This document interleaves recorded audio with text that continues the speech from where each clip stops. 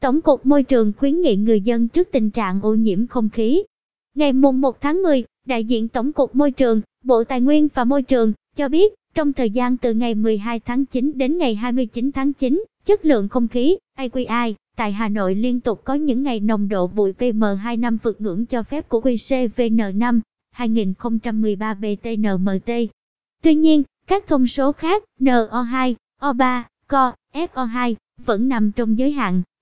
Theo số liệu từ 13 trạm quan trắc tự động liên tục trên địa bàn thành phố, một trạm của Tổng cục Môi trường tại 556 Nguyễn Văn Cừ, 11 trạm của thành phố Hà Nội và một trạm của Sứ quán Mỹ, đo được trong khoảng thời gian từ ngày 12 tháng 9 đến ngày 29 tháng 9, nồng độ bụi PM2. Năm có xu hướng gia tăng trong thời gian từ ngày 12 đến ngày 17 tháng 9, sau đó giảm từ ngày 18 đến ngày 22 tháng 9 và tăng cao trở lại, duy trì liên tiếp trong các ngày từ 23 đến ngày 29 tháng 9. Trong các ngày từ 15 đến ngày 17 tháng 9 và 23 đến ngày 29 tháng 9 có đến trên 75% giá trị PM2.5 trung bình 24 giờ của các trạm vượt tiêu chuẩn quy định tại QCVN5 2013 BTNMT. Đặc biệt trong các ngày từ 25 đến ngày 29 tháng 9, toàn bộ các trạm đều có giá trị PM2.5 trung bình 24 giờ vượt tiêu chuẩn quy định tại QCVN5 2013 BTNMT. Kết quả tính toán chỉ số chất lượng không khí AQI tại các trạm trong các ngày từ 12 đến ngày 29 tháng 9 cho thấy chỉ có 5 phần 18 ngày có AQI ở mức trung bình, ngày 12, 18, 19, 21 và ngày 22 tháng 9. Các ngày còn lại chỉ số AQI luôn ở mức kém, AQI 100.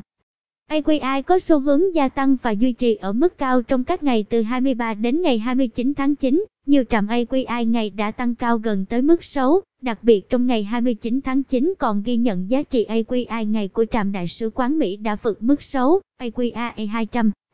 Các khoảng thời gian ghi nhận giá trị PM2.5 tăng và duy trì ở mức cao thường là đêm và sáng sớm, AQI giờ những khoảng thời gian này cũng ở mức kém, AQI 100, thậm chí có những giờ lên đến mức xấu, AQI 200.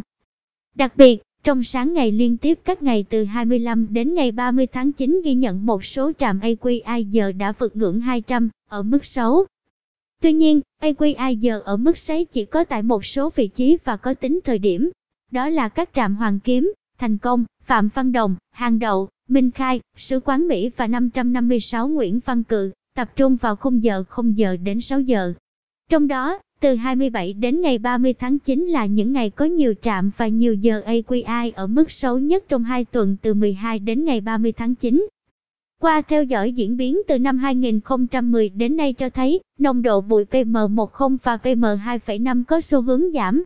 Đối chiếu với kết quả quan trắc từ trạm của Đại sứ quán Mỹ trong giai đoạn từ 2016 đến 2018 cũng cho thấy xu hướng tương ứng đối với nồng độ PM2. 5. you